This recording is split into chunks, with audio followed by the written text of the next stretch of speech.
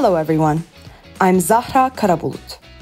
I'm a senior student in the Department of Finance at Inonu University, Faculty of Economics and Administrative Sciences.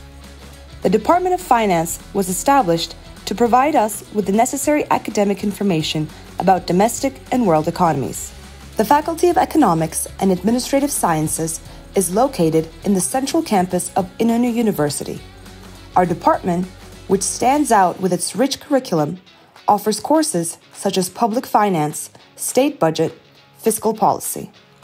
In addition to these basic courses, it also offers courses such as economics, law, and accounting. Although there are no compulsory internships in our department, an optional internship can be done.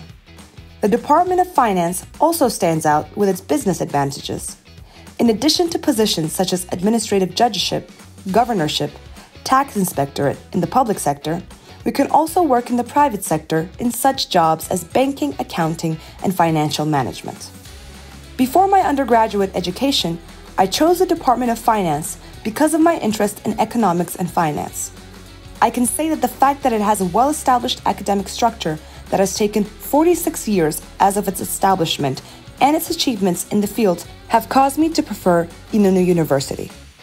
I plan to pursue an academic career after graduation. Both cultural and social activities are awaiting for the candidates who will prefer our university to improve themselves. My advice to students who would prefer our department is to research this department before coming. As a student of the Department of Finance of Inonu University, Faculty of Economics and Administrative Sciences, I wish success to the students who will take the exam. We are waiting for you at our university.